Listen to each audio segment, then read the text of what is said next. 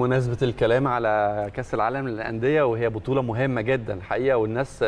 الأهلاوية مستنيينها بفارغ الصبر. كابتن سيد عبد الحفيظ مدير الكرة في النادي الأهلي قال إنه تقرر إنه يكون في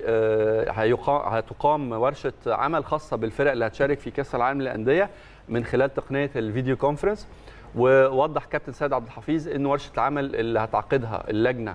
المنظمة للبطولة بتقام يوم 14 يناير اللي جاي إن شاء الله يعني كمان أسبوعين من خلال فيديو كونفرنس وده هيتم الاتفاق فيها والتنسيق فيها في كل ما يتعلق بالبطولة وخصوصا كمان فيما يتعلق بالإجراءات الوقائية من فيروس كورونا. عبد الحفيظ كمان اتكلم انه الورشة دي هتتضمن كل التعليمات وكل اللوائح المستجدة والمنظمة للبطولة عشان تتأكد على كل الفرق اللي هتشارك في النسخة اللي جاية والأهلي طبعا زي ما حضراتكم عارفين هيخوض منافسات كأس العالم للأندية في الفترة من 1 ل 11 فبراير اللي جاي إن شاء الله.